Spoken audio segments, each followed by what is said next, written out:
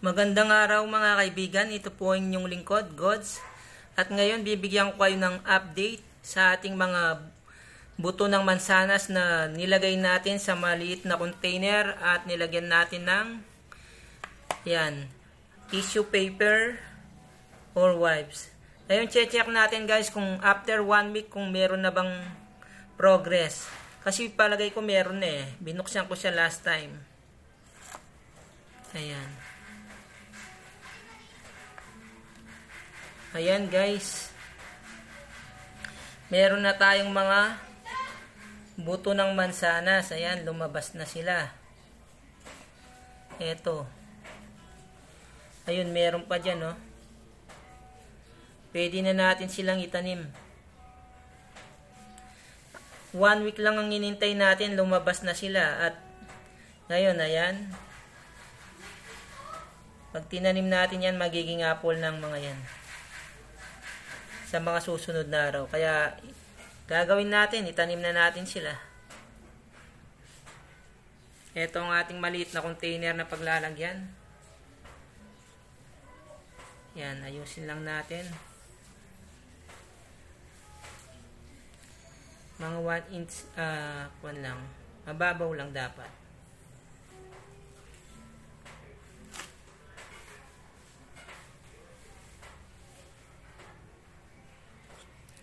Isang dangkal lang pwede na. Ingat lang tayong masugatan siya. Yan, ilubog lang natin ng konti, mga ilang araw lang. I-update natin ulit. Yung isa kasi medyo malalim na yung kanyang tangkay. Kaya gagawin natin guys, ilalalayiman na natin. Ayan o. Oh ang lagi na kasi kaya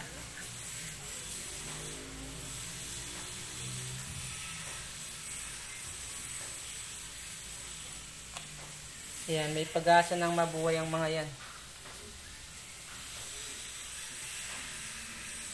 Dito rin maglalagay rin tayo.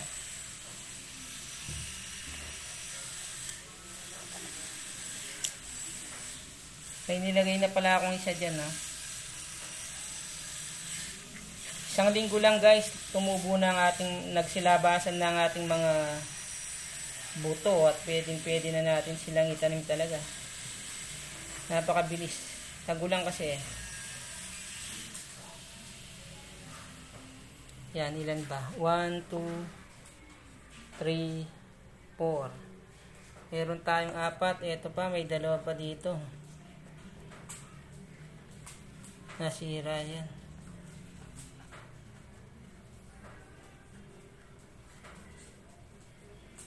Meron tayong lima.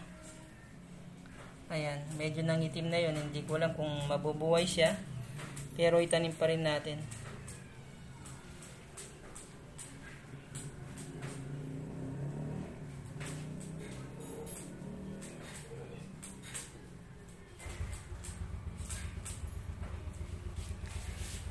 So, yan guys, ang ating mga buto ng mansanas.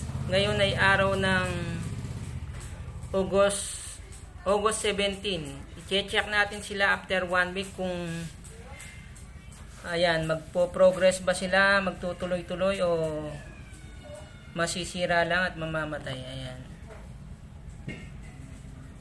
Gagawa pa tayo ng iba pang mga videos. Okay? At siya nga pala, ipapakita ko muna sa inyo ang aking mga malalaki ng mansanas. Ito nga pala guys, Fuji apple din siya. Yung nabansot na Fuji apple, nilagi, nilagay natin sa malaking container. Ayan, medyo nag-improve siya. Lumaki siya at medyo tumataba na rin.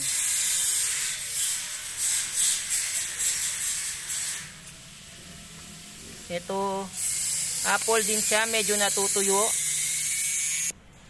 Dito naman guys, almost 7 feet na siya. Ang ating pinakamalaki.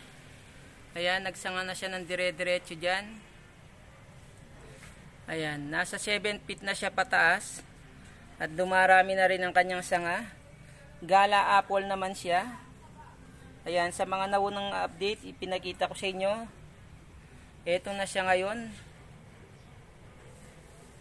Ayan ang ating pinakamalaking gala apple.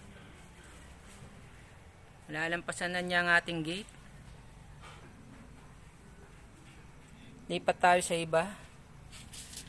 Itong banda rito, ito. Fuji apple naman yan. Mga nagsi 6 feet na siya. Ayan. Yung mga naunang update sila ito guys. Yung mga apple natin. Ito. Nasa 5 feet and half na siya. Fuji apple din. Ayan. Nasa maliit na container lang kasi sila kaya hindi sila masyadong tumataba pa. Bala ko ilipat sila sa lupa pag malaki-laki na sila talaga. Lipat naman tayo sa cutting. Ito naman guys yung mga cutting. Cutting natin sa gala apple. Ito siya. Palagay ko buhay pa siya kahit tuyo na siya. Ayan. Tayin lang natin siyang mag-develop. Ito talagang naging successful na siya. Cutting din. Galing sa ating gala apple. Ayan. Mataba siya at talagang nagsisimula na siyang magdawon. Ayan.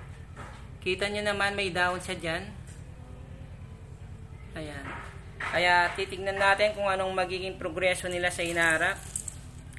So, yan muna sa ngayon guys. Hanggang sa mga susunod na video.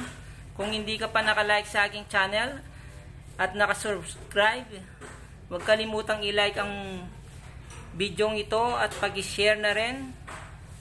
Ayan, para aware ka sa mga susunod nating mga update, pakiclick din ang notification bell.